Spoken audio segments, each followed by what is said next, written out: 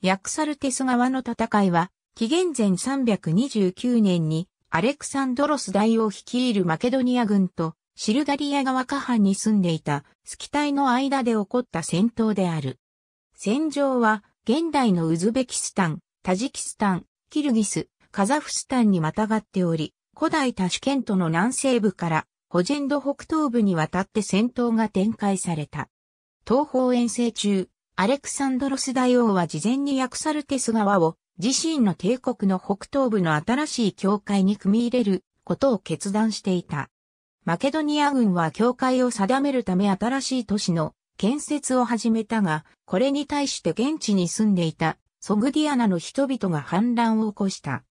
マケドニア軍が激しい戦闘の中で反乱を鎮圧している間、遊牧民戦士の騎馬隊がヤクサルテス川の北部に現れて戦闘に参加。戦利品を持ち帰った。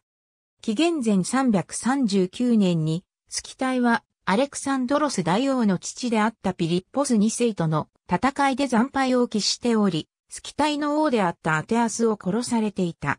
したがって、マケドニア軍に対する攻撃には復讐と報復という要素があった。スキ隊人は、ヤクサルテス川の対岸に集結し、バリ増原で散々にマケドニア軍を挑発した。アレクサンドロス大王はついに怒り神道に発し、挑発に乗ってスキタイ軍に攻め入ることを決定した。スキタイ軍はヤクサルテス川の北岸に陣取り、上陸した際にはアレクサンドロス大王の軍を破る降参を立てていたが、彼らはマケドニア軍の旧兵隊、艦隊、騎兵、不評の統率力の高さを過小評価していた。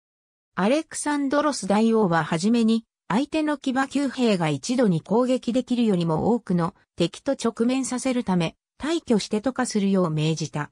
また、バリスタやカタパルトなどの投射兵器を用いて、渡化する自軍を援護させた。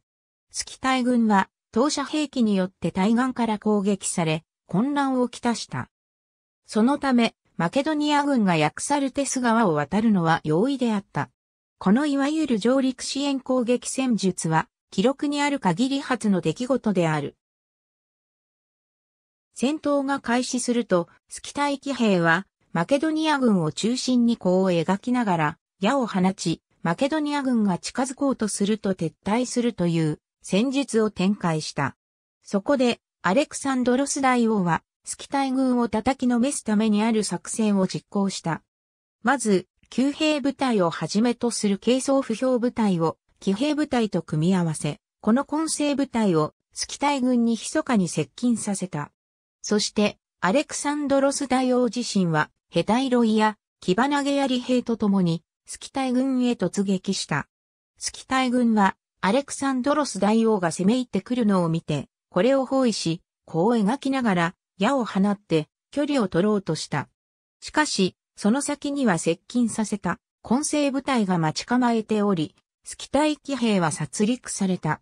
アレクサンドロス大王自身がおとりとなる作戦であった。これによって、スキタイの戦術は攻略され、スキタイ軍は総崩れとなり改装した。約1200人のスキタイ軍は包囲されて捕らえられ、司令官であったサトラケスも死亡した。捕虜は150人を超え、1800頭の馬が捕まった。アレクサンドロス大王は途中、飲んだ水が悪かったせいで激しい腹痛を催し、追撃戦を中止したおかげで、スキ隊軍は全滅の浮き目をかろうじて逃れることができた。マケドニア人とギリシア人が知る限りにおいて、遊牧民族を押さえつけ破ることのできる司令官は、誰を彗星を含めこれまで誰も存在していなかった。この勝利により、マケドニア軍は士気を大いに高め、ヤクサルテス川北部に住む遊牧民にとって心理的に大きな打撃となった。スキタイの王はこれに仰天し、アレクサンドロス大王が命じたことなら何でも実行するから許してほしいという旨の施設をアレクサンドロス大王に送った。アレクサンドロス大王の主な目的は遊牧民を征服することではなく、彼はより深刻な危機が訪れていた南方への進出を望んでいたため、これを快く受け入れ、陰銀な友好の返書を送った。また、アレクサンドロス3世は、身代金を要求することなく、捕虜を解放した。これ以後、スキ隊はアレクサンドロス大王に二度と逆らうことはなく、むしろマケドニア軍の東方遠征を援護するようになる。ありがとうございます。